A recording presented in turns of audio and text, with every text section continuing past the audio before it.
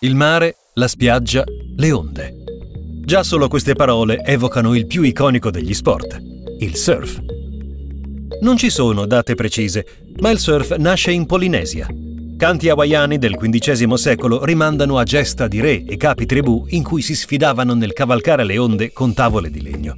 La prima fonte storica è del 1777 ed è contenuta nel diario di bordo del capitano James Cook, il quale scrisse Mentre osservavo quell'indigeno penetrare su di una piccola canoa le lunghe onde al largo di Matavai Point, non potevo fare a meno di concludere che quell'uomo provasse la più sublime delle emozioni nel sentirsi trascinare con tale velocità dal mare. James Cook dovette però aspettare circa un anno in più per capire cosa fosse effettivamente il surf. È infatti giunto alle Hawaii che vide per la prima volta degli uomini scivolare sull'acqua in piedi su delle tavole di legno. Bandito dai missionari calvinisti a causa delle nudità esposte dai polinesiani dell'epoca, il surf venne ripreso tra la fine dell'Ottocento e gli inizi del Novecento. Un basilare contributo alla diffusione del surf fu dato dall'hawaiano Duke Kahanamoku, quale, partecipando e vincendo medaglie d'oro nel nuoto sia alle Olimpiadi di Stoccolma 1912 sia quelle di Anversa del 1920, era solito praticare surf in attesa delle gare, portando così questo sport in giro per il mondo. La massima diffusione del surf si avrà però negli anni 60 e 70, grazie anche alle gesta di Greg Knoll, che nel decennio precedente fu senza pari campione assoluto di questa disciplina.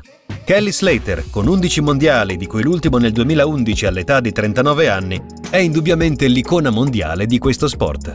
Dal 2020 il surf è sport olimpico. Oteos incontra gli atleti della nazionale italiana prima della loro partenza tappa del circuito di Coppa del Mondo, la Rip Curl WSL Finals, che si svolgerà questo settembre in California.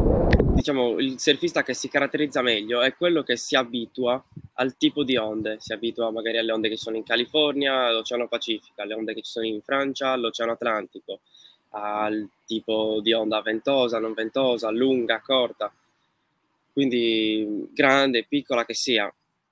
Quindi alla fine noi surfiamo tutti i tipi di onde possibili che ci sono. Ovviamente non andiamo nel, nell'XXL, quindi onde magari di 20-30 metri, però stiamo sui magari massimo 3-4 metri.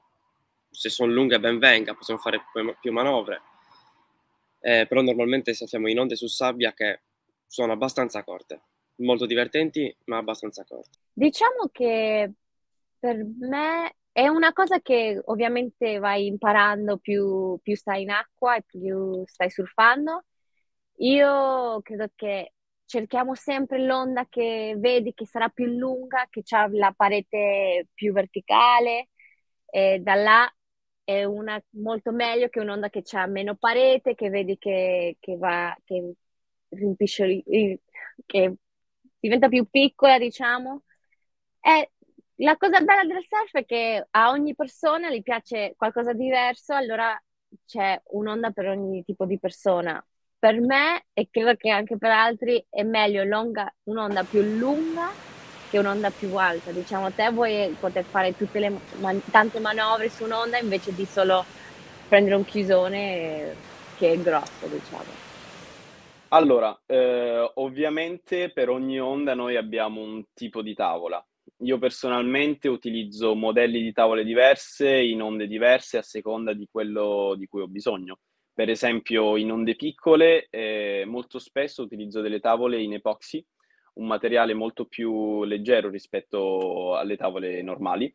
E eh, le misure anche sono, sono, diciamo, cambiano nelle tavole a seconda, a seconda delle onde. Per esempio in onde più piccole di solito si tende a, um, a, a mettere diciamo, uh, più volume sotto le tavole, a um, aumentare la larghezza e magari anche a diminuire un po' la lunghezza, proprio perché in questo modo la tavola un, galleggia di più, hai più, man, um, sì, hai più facilità nel, nel, nel manovrare nelle onde piccole. Invece nelle onde un po' più grandi si tende a stringere un po' di più la tavola e, e a fare delle tavole con un po' più di drive, ovvero la capacità della tavola di eh, tagliare l'onda, ecco, di, di, mettere il rail nell'acqua. Allora, eh, questa è la mia tavola eh, il, questo si chiama il nose, qua giù il tail, eh, qua eh, per mettere il piede dietro, dipende se è goofy o regular, metti la, eh, il piede sinistro o destro. E questo che vedi sopra è cera, così non, ehm, non ci vogliamo. E ogni tavola che ti fai è fatta per quel, quella persona. Diciamo, questa tavola ha misure specifiche per me e per un tipo di onda. Diciamo, questa tavola è per onde piccole ma, tante, ma veloci. Infatti qua vedi nel tail, ogni tavola ha un tail diverso. Questo qua si chiama swallow, che sembra che ha due sezioni come rotta nel mezzo, diciamo.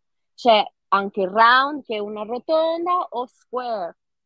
E per ogni tipo di onda usi, usi un tail diverso dipende anche quanti litri c'è la tavola, quanto è grossa, alta. Allora ogni tipo di onda ha bisogno di una tavola diversa. Ci sono diverse, come posso dire, diverse competizioni. Abbiamo Junior, abbiamo Open, abbiamo il circuito WSA, il circuito ISA che funziona a gruppi, per esempio quella nazionale, e invece quello WSL è un po' più individuale. Una gara di surf è una gara all'interno della quale tu hai 20 minuti di tempo. Ovviamente eh, la gara è suddivisa in batterie e dopo che tu passi una batteria passi al round successivo e, e viceversa. Eh, in ogni hit ci sono quattro persone, puoi prendere tutte le onde che vuoi, ma solo le due onde dei punteggi più alti ti contano. E la prima e la seconda persona in quella hit passa al prossimo round. E c'è priorità anche, significa che se te c'è la priorità, te puoi prendere qualsiasi onda che vuoi, nessuno ti può venire diciamo addosso o, o farti fastidio e più passi il round arrivi a un momento che ai quarti finali iniziano ad essere solo due persone nel pit e là passa solo la prima fino alla finale. Queste onde sono giudicate da un, una media di 5 giudici e, e ci sono tantissimi criteri eh, per esempio la velocità, eh, la potenza, la fluidità ehm, e sono diciamo la combinazione di questi criteri che poi eh, va a dare il, eh, il voto finale della, della tua surfata.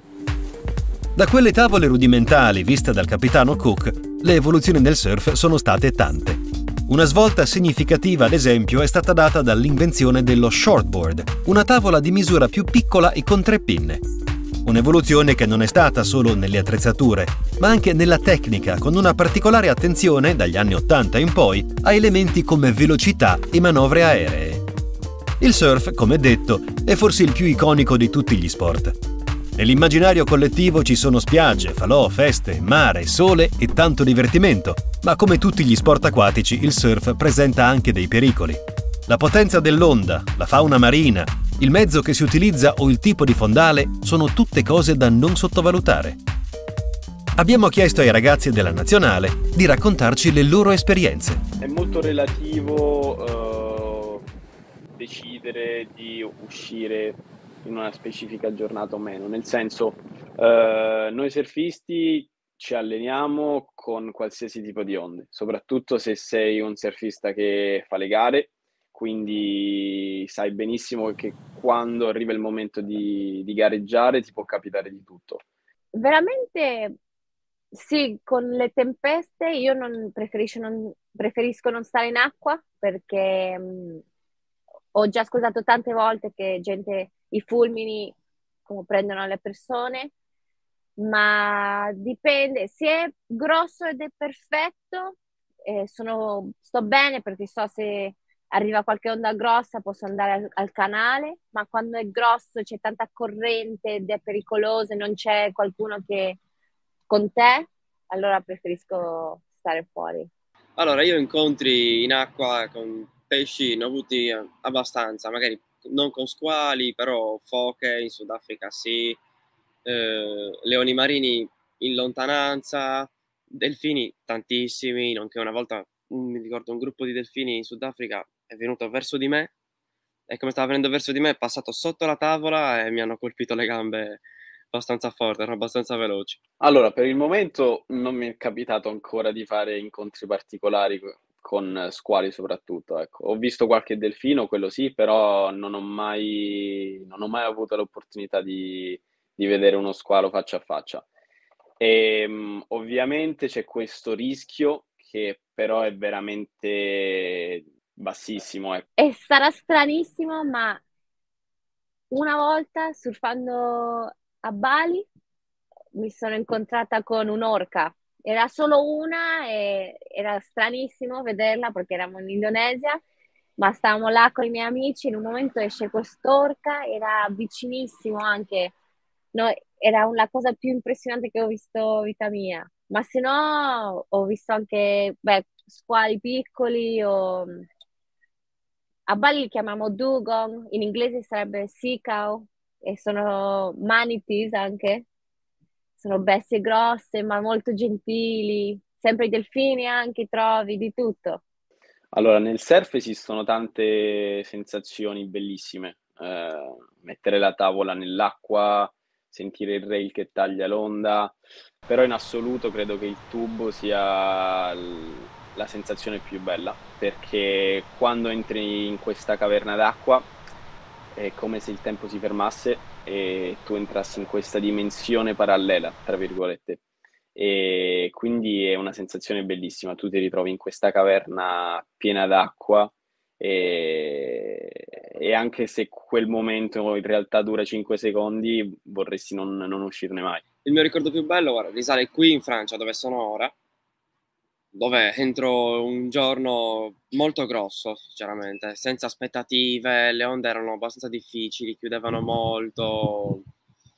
Sono entrato così un'ora aspettando un'onda, remando controcorrente, sono riuscito a prendere quell'onda lì che ho detto, vabbè, mi metto dentro il tubo ed esplodo perché volevo uscire dall'acqua. Alla fine sono entrato dentro il tubo, questo tubo qua grande quanto il salone di casa, e ci sono uscito. Quindi lì proprio il ricordo più felice, l'onda migliore, l'onda perfetta per me, ecco. Eh sì, io credo che sì. La... Il goal per tutti i surfisti è poter prendere il tubo più grosso e largo possibile.